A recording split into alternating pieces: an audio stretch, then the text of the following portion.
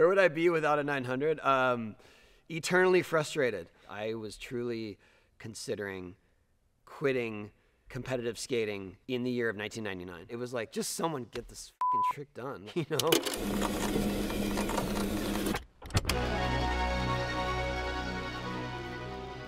Tony Hawk, without a doubt, the most iconic skateboarder to ever live.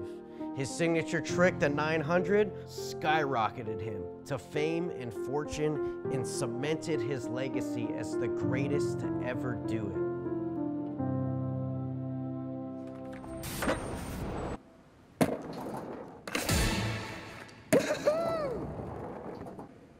Still got it.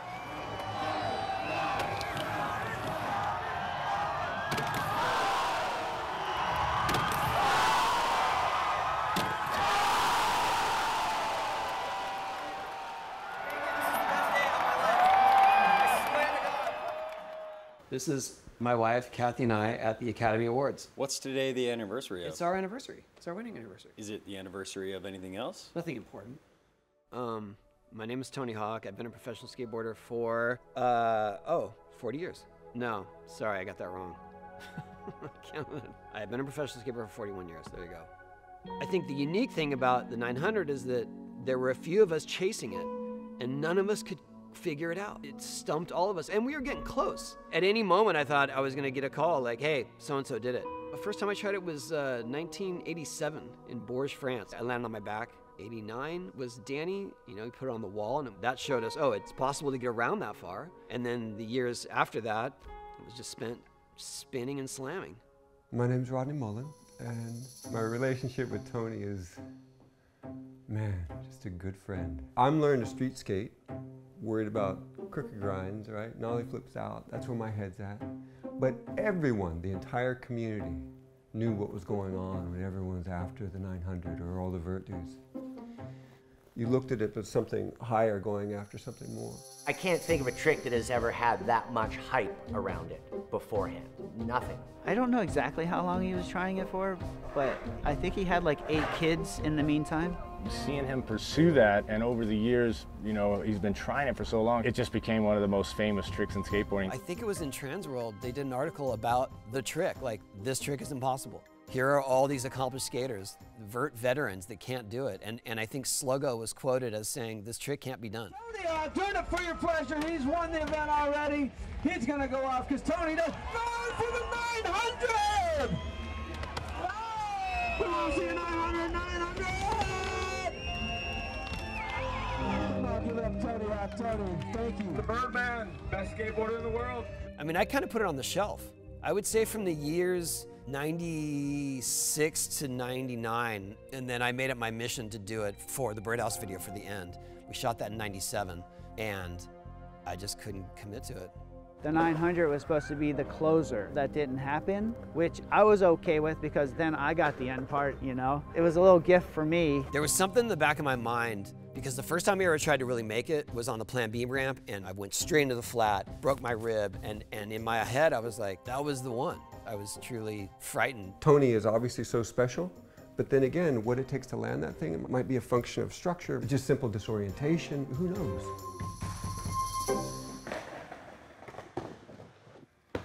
the best vert skaters alive chased it for 10 years. So it's kind of like a legendary fish. Everyone's like trying to catch catfish hunter. This was the legendary trick that everyone was chasing.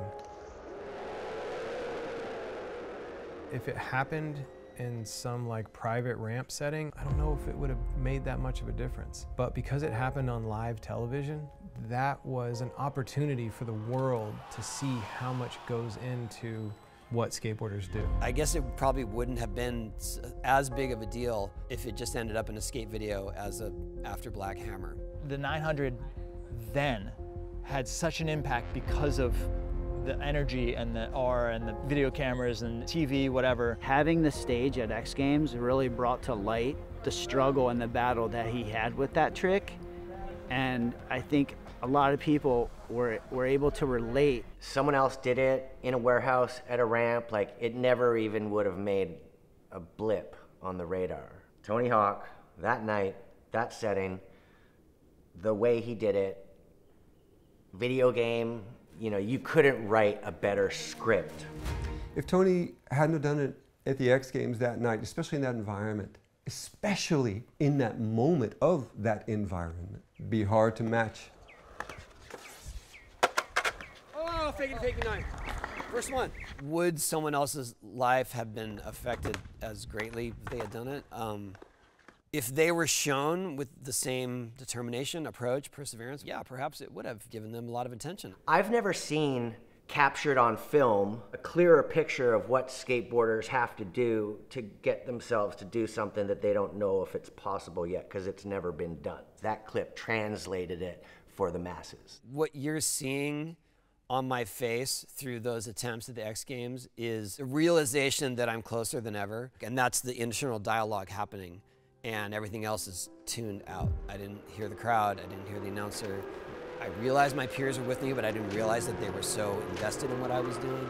I feel like that's the lightning in the bottle right there. there. Is just like the rare occurrence that something that great happens on live television. The battle for the first ever 900 was live on national television. Let's go back to that fateful night in San Francisco. This has really become a personal quest for Tony Hawk to master the trick that he has beaten himself up doing for a decade.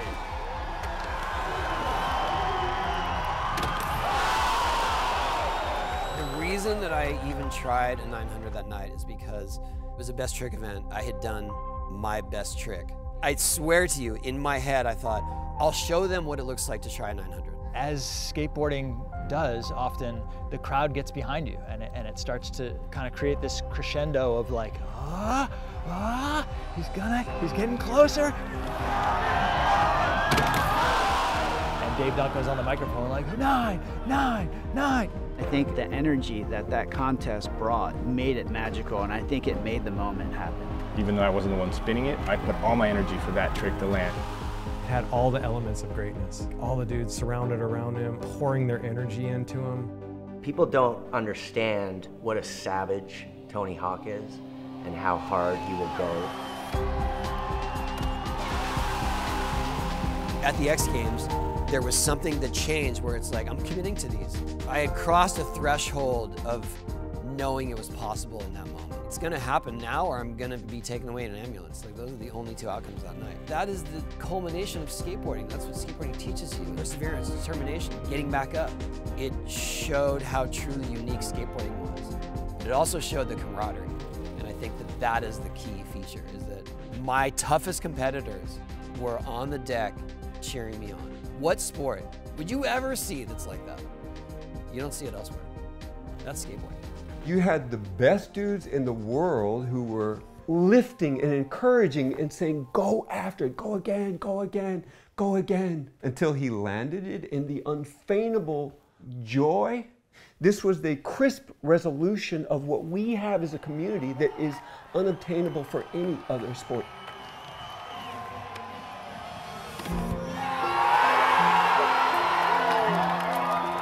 He made it, and by the time he turned on that wall, we were all on the deck. We slid down to tackle him. Like he can't make the next wall because we're just all running for him. For some reason, the only two people with video cameras that we snuck in were me and like Danny Minnick. I had no battery, if any, it was like flashing. I was like, when do I try and film this? Because it looks like this might go down. I was also using my backpack as a beer cooler. It was filled with beer and ice. It was a bad choice. But I remember he was already in the air on his second backside air. And I was like, I got to get this. And I just looked saw him riding away and I was like, whoa, and the place went crazy. And I was so stoked, I just started running at him with the camera. Someone from Tony's camp had called me mentioning, do you have the footage? We know you had a camera there. But I was like, I don't even know. I have all these crates in my garage filled with DV tapes. I went through every tape and I got into the corner and there's this last few tapes covered in rat shit. And the last tape I opened there it is. What I felt immediately after that was that everywhere I'd go, people would request it. And it didn't matter what the terrain was, kids would show up, 900! Or I would go on a talk show.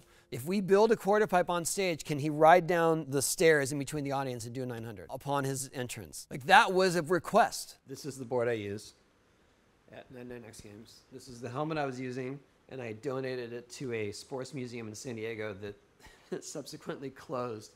So that's why it's signed. I thought that the broadcast was over. I truly did. ESPN's not going to extend their programming for a skate event, especially a best trick event.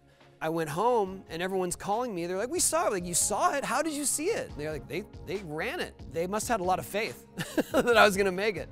I don't think I would have that much faith. Have it all come down within that moment, and my presence there and participation and seeing it unfold, you know, it was just incredible. There cannot ever be a trick as significant as a 900. What an honor it was to be a part of that moment that night. It hurled Tony in front of cameras, in front of celebrities, the world, presidents, it brought him to the White House. Tony Hawk, the best skateboarder in the world. It put him in places that no other skater would be allowed. Did this trick change skateboarding? I completely think so. It put skateboarding in everyone's living room. This trick created skateboarders. There are plenty of people that told me they, they started skating because they saw me in the X Games. That's the biggest honor, that's the proudest legacy I could possibly leave.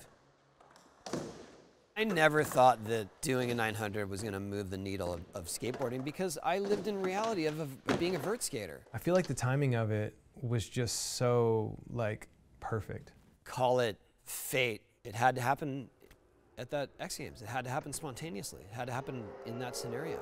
And so I'm thankful it didn't happen before that. But I fucking gave it my all. I didn't do it because I thought that I was gonna usher skateboarding into a new era. I did it because I was obsessed with it. I did it because I've been trying it for 10 years of my life. It gave me something that, that kept my fire burning.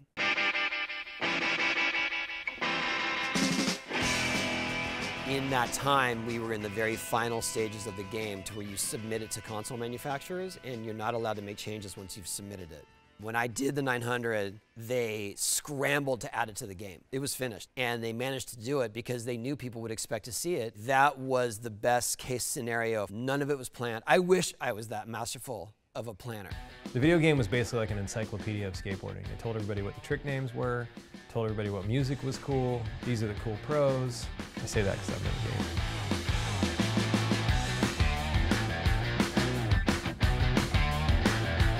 with all of that, it was that was the perfect storm. And when you're asking me about how did it affect the other riders, they got life-changing money from it and recognition. To me, it's like the video game just basically publicized skateboarding for what we already were. You know what I mean? Prior to that, you had all these crappy skateboard video games. Millions of people got a feeling of what it was like to skate. And Tony Hawk was completely at the forefront of showing that to the masses. That put what we did and do in the public consciousness, then going to airports and coffee shops and grocery store and wherever, people like, oh, I played you in that video game.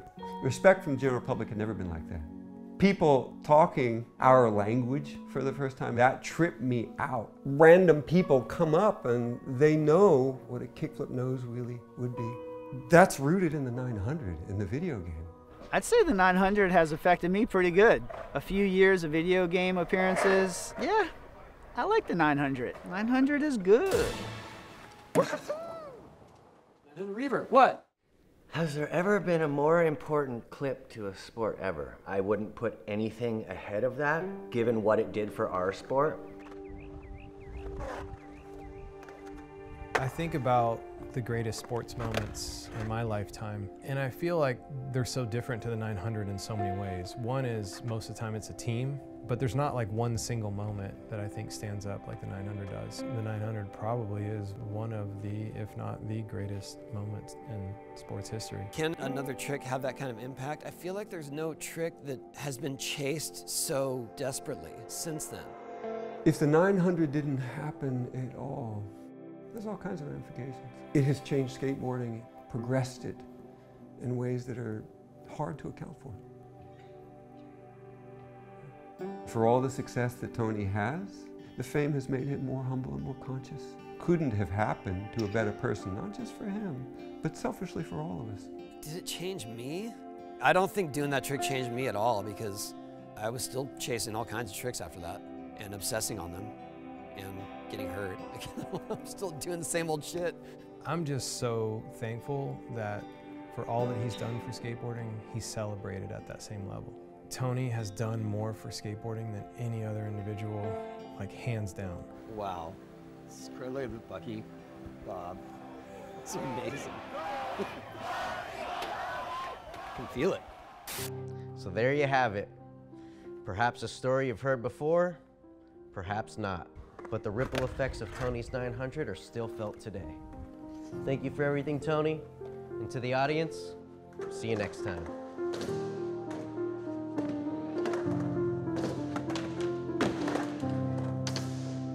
Here's what I would do want to say, yeah, because I have thought about this and I've never really talked about it. When people say, like, you did it first and once it happens again, it's not a big deal. I'm pretty sure Giorgio did it next and made a huge splash. Sandro Dias did it at an event in Brazil, and if you watch that, it looks just as exciting as San Francisco. For the record, I never tried a 1080. I cannot get the snap going fakie to spin around three times on any ramp. And here's the big reveal. I am too scared to, to go up a, a mega ramp fakie. I've never done it.